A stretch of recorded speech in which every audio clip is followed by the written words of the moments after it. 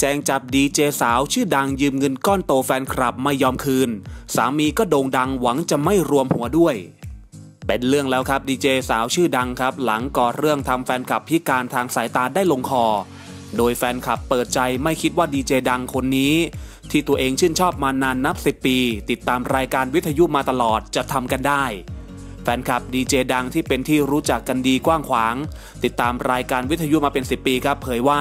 เมื่อวันที่ 13 พฤษภาคม 2561 วันเกิดเรื่อง ได้มีโอกาสมาเจอกับดีเจชื่อดัง เหมือนแฟนคลับมาเจอกันทั่วไป โดยดีเจดังเรียกไปคุยว่ารู้สึกถูกชะตาถึงกล้าคุยด้วย โดยบอกว่าตัวเองเดือดร้อนมากเอาทองพ่อไปจำนำต้องจ่ายดอกก่อนจะขอยืมเงินไปใช้หนี้พร้อมบอกอีกว่าอย่าบอกใครแม้แต่สามีของดีเจดัง โดยตัวเองคิดว่าคนมีชื่อเสียงไม่น่าจะหลอกกัน จึงโอนเงินให้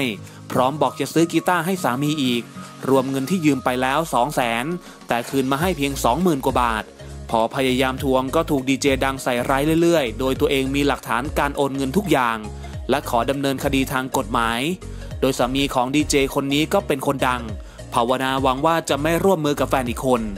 ณะที่โลกโซเชียลเพจดังครับ ก็มีการขุดคุยดีเจสาวคนดังกล่าวถึงวิรกรรมต่างๆ ในอดีต เคยยากจนแม้ค่าแท็กซี่ยังไม่จ่าย ทั้งยังมีนักร้องบางคนเสียเงินซื้อที่ดินให้ เพราะอยากให้เพลงติดชาร์ตเป็นต้นครับ งานนี้ครับต้องติดตามกันต่อไปว่าดีเจชื่อดังคนนี้เป็นใคร เป็นอีกหนึ่งช่องทางดีๆครับ ที่คุณจะสามารถติดตามข่าวสารและอัปเดตข่าวไปพร้อม ๆ กันกับเราครับ อย่าลืมกดติดตามซูเปอร์สตาร์ดารา เราก็อย่าลืมเข้ามาติชมหรือคอมเมนต์มาร่วมแสดงออกทางความคิดเห็นกันนะครับ ที่สำคัญครับต้องขอกราบขอบพระคุณทุกท่านมาก ๆ ด้วยครับ ที่เสียสละเวลาในการติดตามรับชมรับฟังกันนะครับ